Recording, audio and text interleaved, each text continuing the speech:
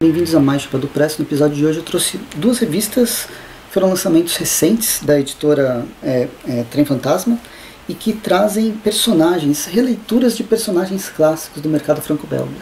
Corto Maltese do Equatória e Luke Luke Procurado. Esse aqui é do Mathieu Bon, é, Bonhomme, não sei como se pronuncia, e aqui do Rua Dias Canales e Rua, é, Rubem Pelerreiro. As duas são continuações do, os mesmos autores, né, eles já estão é, retornando esses personagens que a própria editora Trem Fantasma já publicou. Algum, acho que foi 2022 mesmo que ela tinha publicado, ou finalzinho de 2021, ambas as histórias. A primeira, lá, o Luke Luke é Quem Matou Luke Luke, e o Corto Maltese é Sob o Sol da Meia-Noite. E são duas, duas séries que eu gostei bastante, são duas uma é mais uma releitura, o, o Lucky Luke, ela tem uma ideia mais de releitura, porque ela traz um talvez um envelhecimento do, do personagem, uma seriedade maior para o personagem, e Corto Maltese, o Rua Dias e o Robin Pelerreiro, eles tentam emular o que, o que a gente via na, nas histórias clássicas do, do Hugo Pratt. E eu posso dizer que gostei das duas e eu trouxe elas tanto por eu ter recebido elas juntas, como por elas conversarem em várias formas. Elas conversam por essa, essa característica de retorno a obras que são essencialmente autorais, tanto Luke Luke, embora tenha passado por outros autores, mas Luke Luke é essencialmente autoral. Já comentei sobre essas primeiras fases né, as, as, origens do personagem, como o Corto Maltese também, mais ainda, ela só tinha feito, sido escrita pelo, pelo Hugo Pratt até, até então. E, além disso, nas duas histórias, coincidentemente, e acredito que tenha sido coincidência mesmo, mas elas tratam de do, relações desses personagens com uma grande importância num grupo de mulheres. E aí cada uma tem um envolvimento um pouco diferente na história, na, em cada uma dessas histórias. Bem, o Look Look Procurado, ela foi lançada em 2021 no, no mercado franco-belga. A primeira, o procurado, esse é o procurado, mas o quem matou o Look Look, se não me engano, foi 2015. Eu já tinha feito, né, tem um outro vídeo no meu canal. E o Corto Maltese, Equatória, ele é um pouco mais antigo, de 2017. Então não é tão velho assim. E vamos começar por Corto Maltese, que é o mais velho das duas publicações, ori originalmente mais velho, mas como eu disse, nem tão velho assim. Bem, aqui a gente vai acompanhar uma, uma história que se passa em 1911 e entre as várias aventuras clássicas que Hugo Pratt já tinha, já tinha sido, já tinha escrito, a gente vai ter essencialmente uma aventura aventura no melhor estilo de busca por um artefato, a busca pelo espelho de Prece João, um artefato antigo relacionado às cruzadas e que cruzou o Mediterrâneo ao longo do tempo.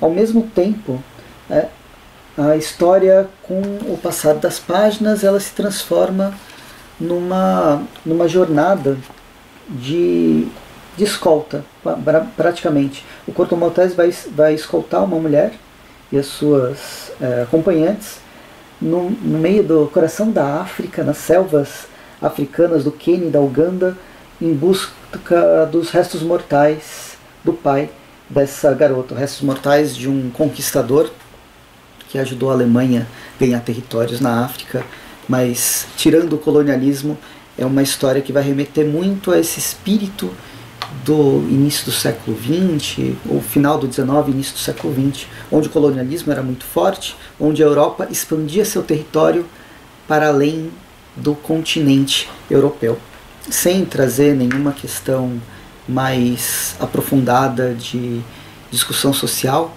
Aqui o que a gente vê em Corto Maltese, essencialmente, é uma história reflexiva do personagem, é uma, uma história que vai aprofundar qual que é a, o, a psique, né, os dramas do personagem do Corto Maltese.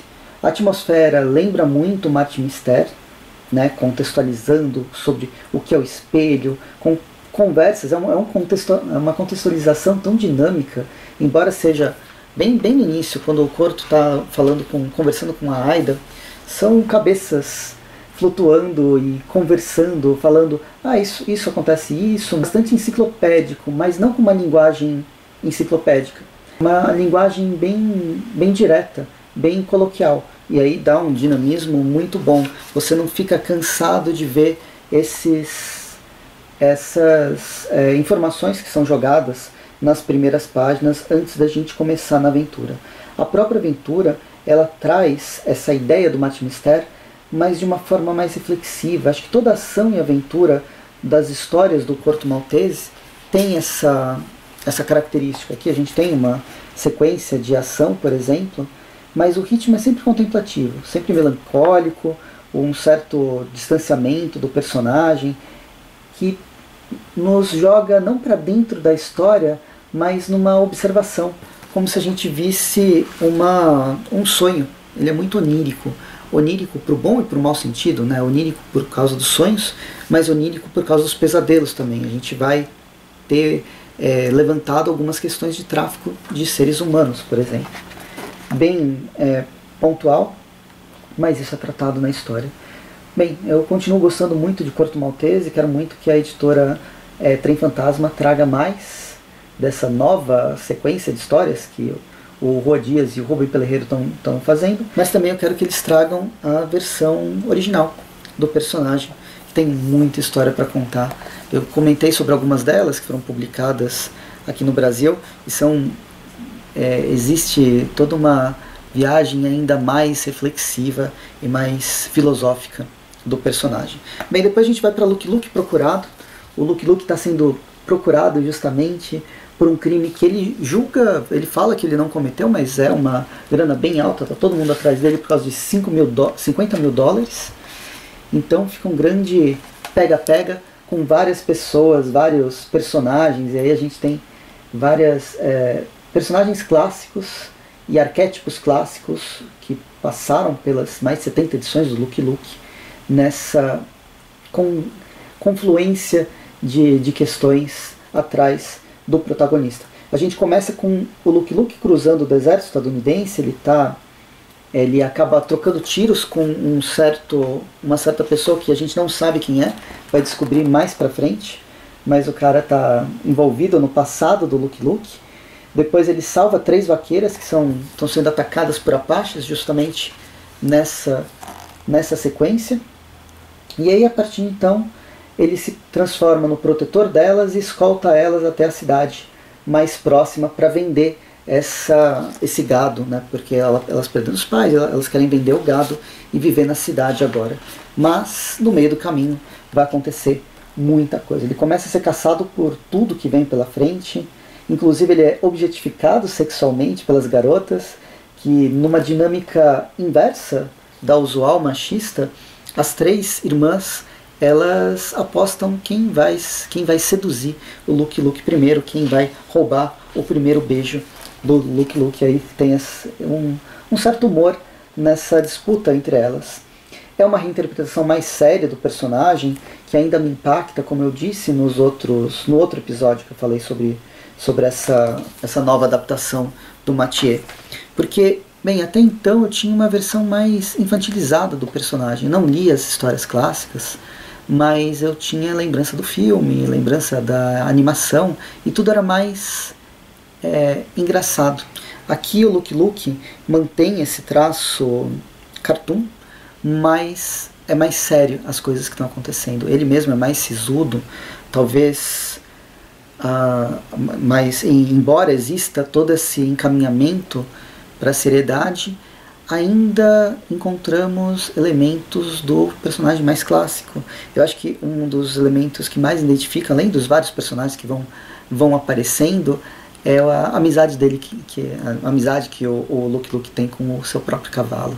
E é bonita essa amizade, é uma parceria né, muito mais do que um homem e um animal, eles são amigos, companheiros para viver pelo deserto. Tem um complemento bem, bem interessante, as duas revistas têm um complemento bem legal, que são complementos originais, na verdade, são da versão original desenvolvendo um pouco sobre o que a gente vai encontrar, as, as relações do Corto Maltese com a história. Inclusive, tem algumas, algumas personalidades históricas que aparecem no Equatória. E o Luke Luke Procurado é muito mais uma entrevista com Mathieu, onde ele fala todas as suas os seus dilemas de como fazer a adaptação, o que ele queria trazer, o que ele queria evitar, e que torna a história bem, bem mais interessante, sabe? Ela cria um background bem legal. Enfim, esse foi Look Look, Corto Maltese Equatória. Vamos lá, esperar pelas próximas edições que a Trem Fantasma vai trazer desse ano de 2023. Espero que vocês tenham gostado do vídeo, curtam o vídeo, assinem o canal, assinem o Chopada Press no Facebook, me sigam no Instagram, no arroba onde eu falo sobre filmes e séries. Tem também o Fortaleza Quântica, que é o podcast onde eu amigos meus a gente fala sobre filmes, séries, quadrinhos. Geralmente é eu, Rafael do Multiverso 38 e outras pessoas que a gente acaba convidando com várias recomendações e o que torna cada cada um dos episódios bastante atemporal. Além disso, link da Amazon, qualquer compra do link da Amazon ajuda muito o canal. Corto Maltese, Look Look, vocês encontram por lá, embora a própria é, Trem Fantasma tenha uma loja própria que também vale a pena explorar um pouco, fazer a assinatura deles. Às vezes é interessante, sempre 40% de desconto. E, bem, é isso. Comentem. Vocês leram essas histórias, gostam dos personagens, das interpretações antigas, originais deles? A gente conversa nos comentários e eu vou ficando por aqui. Espero que vocês tenham gostado do vídeo. Até mais e bons quadrinhos.